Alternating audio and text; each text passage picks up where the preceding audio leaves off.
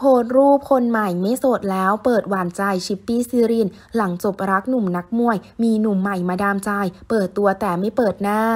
ชิปปี้ in love เปิดตัวหนุ่ม ใครกันไม่เห็นหน้า บอยประกรณ์ถึงกับคอมเมนต์ล้าน คลั่งรักอวยพรวันเกิดหวานหนุ่มปริศนา อยากเห็นหน้าได้ไหมชิปปี้ in love เปิดตัวหนุ่มใครกันไม่ยอมให้เห็นหน้า บอยประกรณ์ถึงกับคอมเมนต์ล้าน หลังเลิกรารักครั้งเก่ามานานพอดู มีข่าวกับหนุ่มๆกระแสจิ้นกับคนโน้นคนนี้ แต่ล่าสุดนางเอกสาวชิปปี้ศิรินทร์ปรีดียานนท์ โพสต์คลิปสุดหวาน เปิดตัวหนุ่มข้างกาย กับโมเมนต์หวานๆที่ไม่เปิดเผยใบหน้าให้เห็น ขณะไปท่องเที่ยวด้วยกัน อยู่ด้วยกันโมเมนต์หวานหนักมาก ผลัดกันดูแลกันและกัน ทั้งคอยนวดให้ ตัดเล็บให้ ผูกเชือกรองเท้าให้ ใส่ถุงเท้าให้ ใดๆ คือคลั่งรักแหละพร้อมแคปชั่นอวยพรวันเกิดสุดสวีตว่า Happy Birthday Baby ทำเอาบอยประกรณ์อดีตคู่จิ้นถึงกับเข้ามาคอมเมนต์แซวเลยว่า ไรอะอีอีอีอีอีด้านโดนัทมนัสนันท์ก็แซวว่าชิปอีกแล้วนะ DM มาเลยฮ่าฮ่าพีทพลก็คอมเมนต์ถามด้วยว่า ยังไง ด้านแฟนคลับแห่คอมเมนต์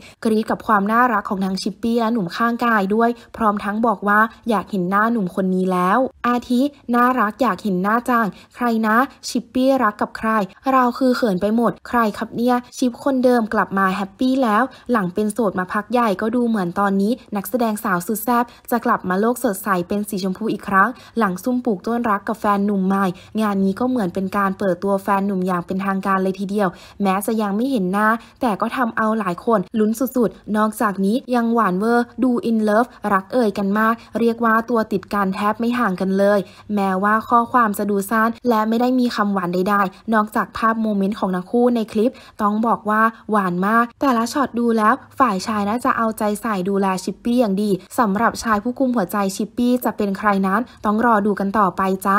สาวชิปปี้ไม่โสดแล้ว และมีแฟนหนุ่มแล้วแน่นอน หลังเธอออกมาการันตีด้วยการอัปเดตคลิปกับชายหนุ่ม